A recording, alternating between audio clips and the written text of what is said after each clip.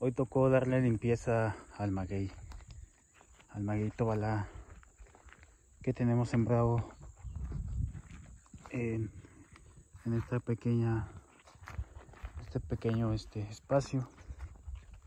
Y pues así es como se ve.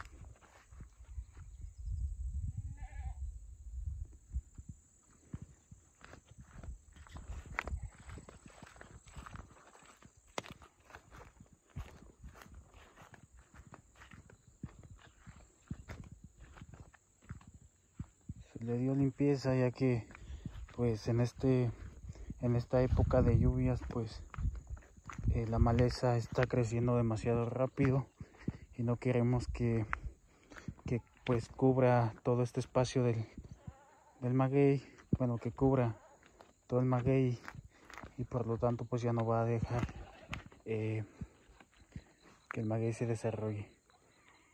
Y pues lo que hicimos aquí fue fue este más que nada darle limpieza eh, la maleza eh, pues eh, cortarla cortarla es pues, para que el maguey esté libre. Y pues sí.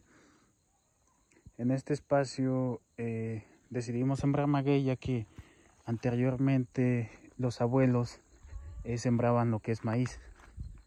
Todo este espacio era, era tierra de, de, siembra de maíz y pues ahorita, ahorita pues ya, ya el maíz ya casi no, no se siembra por esto, por este lado y pues el terreno quedó así nomás eh, sin nada de cultivo y pues decidimos sembrarle un poco de maguey y ya después en unos años cuando el maguey ya, ya salga de este lado pues vamos a a, sembrar árboles, arbolitos de, de, esta zona. Ya, de hecho, ya el siguiente año vamos a poner eh, un vivero en donde vamos a, a estar extrayendo árboles nativos de aquí para reforestar todo, toda esta zona.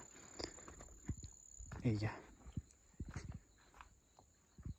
Y así es como se ve el maguey eh, limpio.